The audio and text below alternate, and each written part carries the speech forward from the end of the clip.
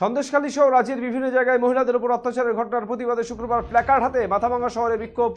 মিছিল, বিজেপি যুব মোর্চা আরেদিনের এই কর্মসূচিতে উপস্থিত ছিলেন বিজেপি জেলা সভাপতি সুকুমার রায় মাথাভাঙ্গা বিধানসভার বিজেপি বিধায়ক সুশীল বর্মন, শীতলকুচি বিধানসভার বিজেপি বিধায়ক বরণ বর্মন, বিজেপি যুব মোর্চা জেলা সভাপতি কুমার চন্দন নারায়ণ সহ অন্যান্যরা।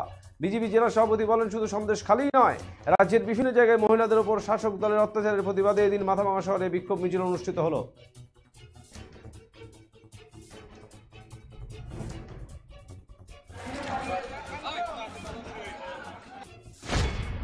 তৃণমূলের দুর্নীতির বিরুদ্ধে সমস্ত জায়গায় মানুষ একত্রিত হচ্ছে। আর সেই জন্যই আমরা কুচবিহারে যেরকম সন্দেশখালী মানুষের উপরে অত্যাচার করছে, তৃণমূলের হারমাত্রা আর নেতারা সরকারি সম্পত্তি লুট করছে।